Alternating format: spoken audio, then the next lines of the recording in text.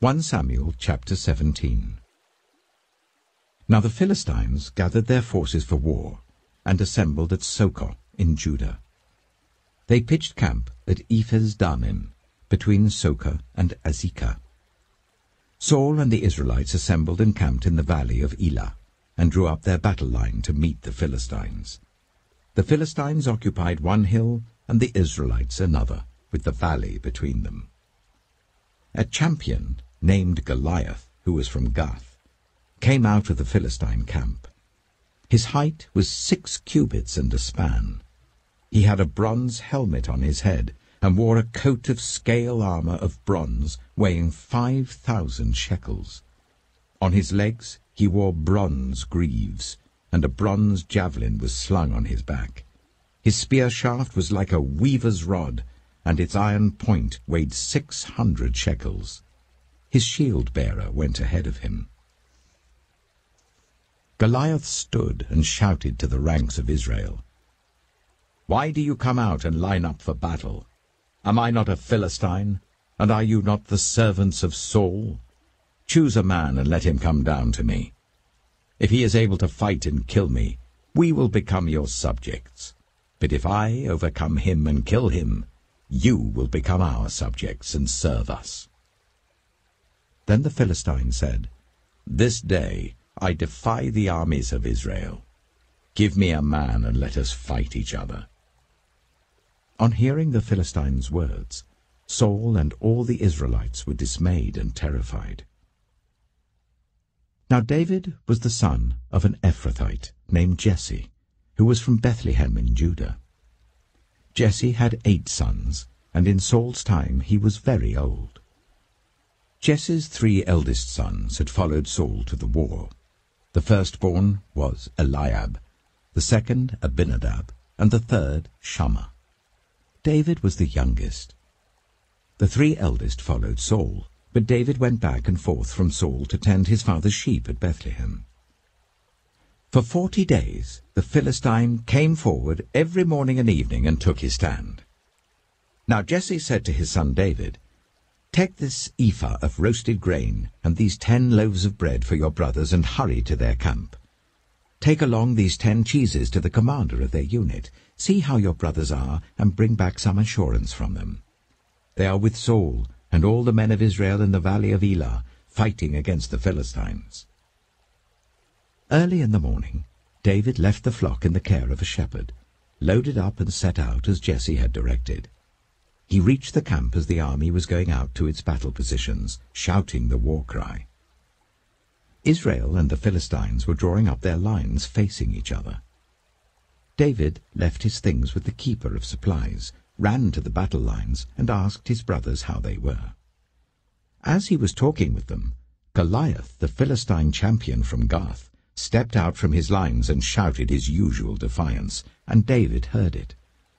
Whenever the Israelites saw the man, they all fled from him in great fear. Now the Israelites had been saying, Do you see how this man keeps coming out? He comes out to defy Israel. The king will give great wealth to the man who kills him. He will also give him his daughter in marriage, and will exempt his family from taxes in Israel.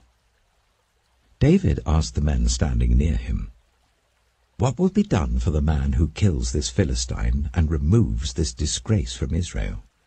Who is this uncircumcised Philistine that he should defy the armies of the living God? They repeated to him what they had been saying, and told him this is what will be done for the man who kills him.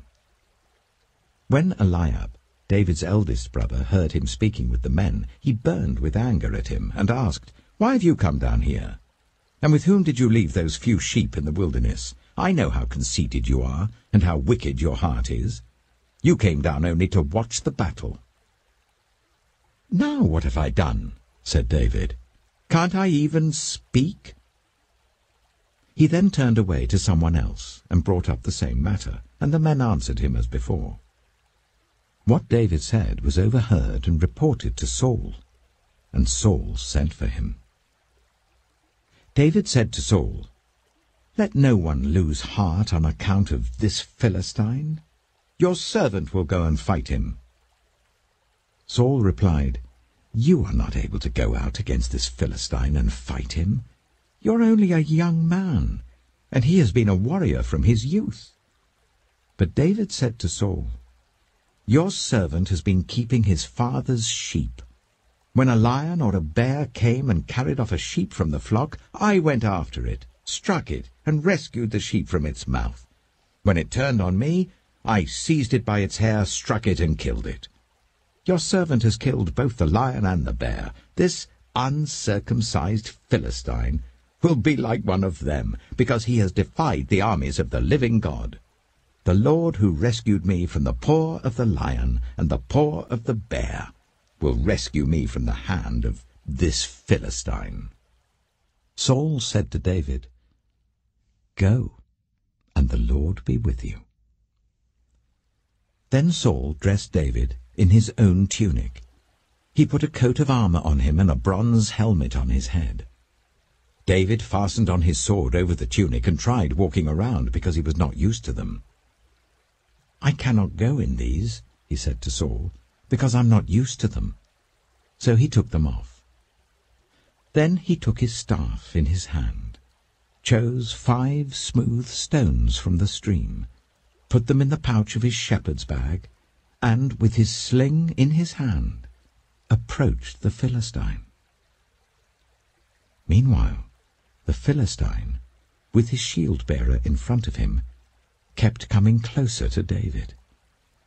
He looked David over and saw that he was little more than a boy, glowing with health and handsome, and he despised him. He said to David, Am I a dog, that you come at me with sticks? And the Philistine cursed David by his gods. Come here, he said, and I'll give your flesh to the birds and the wild animals. David said to the Philistine, You come against me with sword and spear and javelin, but I come against you in the name of the Lord Almighty, the God of the armies of Israel, whom you have defied. This day the Lord will deliver you into my hands, and I'll strike you down and cut off your head. This very day I will give the carcasses of the Philistine army to the birds and the wild animals, and the whole world will know that there is a God in Israel. All those gathered here will know that it is not by sword or spear that the Lord saves, for the battle is the Lord's, and he will give all of you into our hands. As the Philistine moved closer to attack him, David ran quickly towards the battle line to meet him. Reaching into his bag and taking out a stone, he slung it and struck the Philistine on the forehead. The stone sank into his forehead, and he fell face down on the ground. So David triumphed over the Philistine with a sling and a stone. Without a sword in his hand, he struck down the Philistine and killed him. David ran and stood over him. He took hold of the Philistine's sword and drew it from the sheath. After he killed him, he cut off his head with the sword. When the Philistines saw that their hero was dead, they turned and ran. Then the men of Israel and Judah surged forward with a shout and pursued the Philistines to the entrance of Gath and to the gates of Ekron. Their dead was strewn along the Shaaraim road to Gath and Ekron. When the Israelites returned from chasing the Philistines, they plundered their camp. David took the Philistine's head and brought it to Jerusalem. He put the Philistine's weapons in his own tent. As Saul watched David going out to meet the Philistine, he said to Abner, commander of the army, Abner, Whose son is that young man? Abner replied, As surely as you live, your majesty, I don't know. The king said, Find out whose son this young man is. As soon as David returned from killing the Philistine, Abner took him and brought him before Saul, with David still holding the Philistine's head. Whose son are you, young man? Saul asked him. David said, I am the son of your servant Jesse of Bethlehem. Psalm 9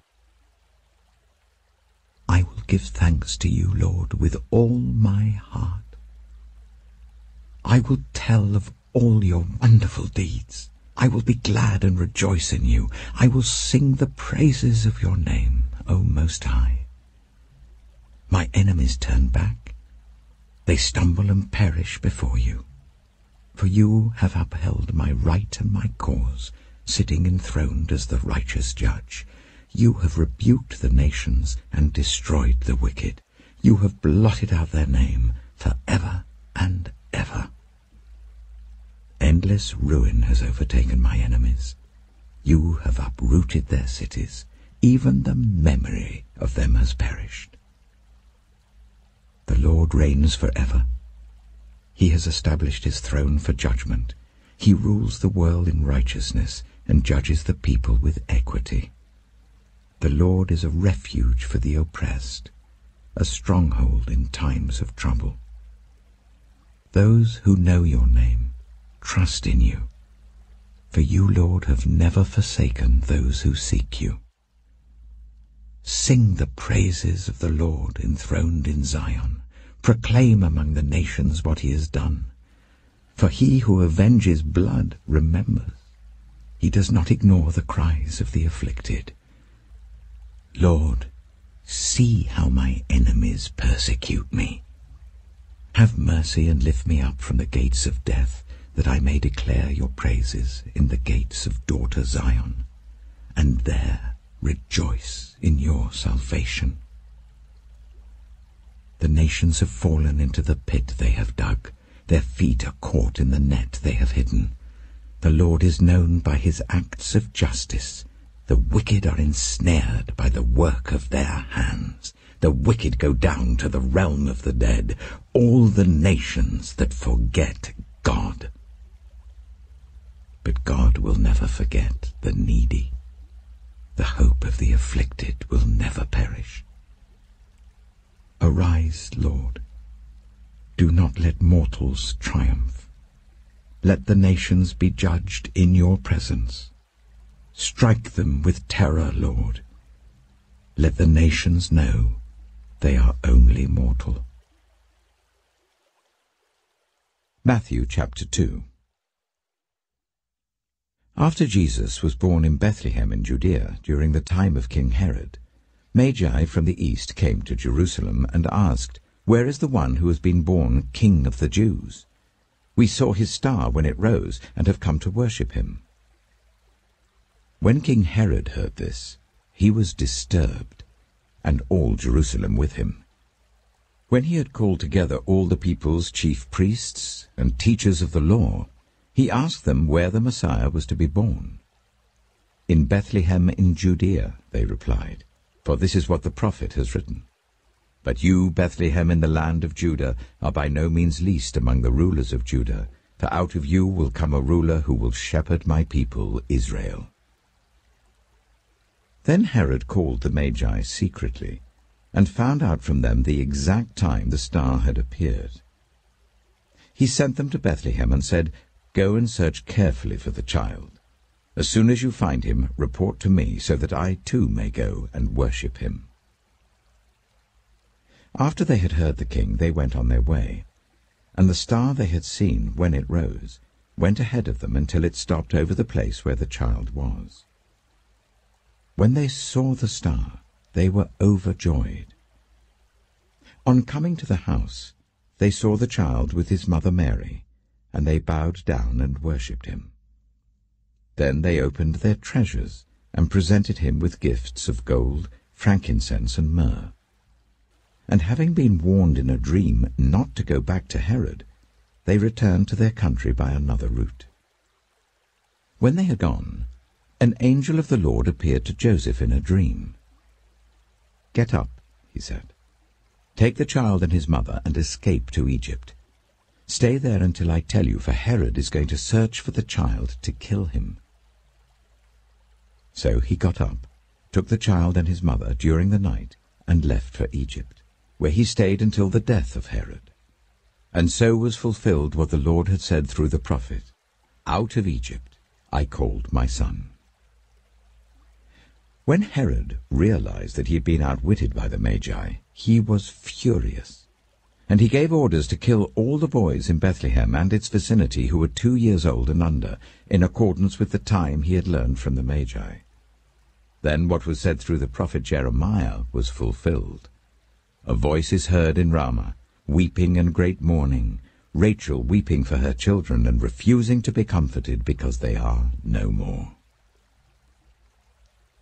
After Herod died, an angel of the Lord appeared in a dream to Joseph in Egypt and said, Get up, take the child and his mother, and go to the land of Israel, for those who were trying to take the child's life are dead. So he got up, took the child and his mother, and went to the land of Israel. But when he heard that Archelaus was reigning in Judea in place of his father Herod, he was afraid to go there. Having been warned in a dream, he withdrew to the district of Galilee, and he went and lived in a town called Nazareth. So was fulfilled what was said through the prophets, that he would be called a Nazarene.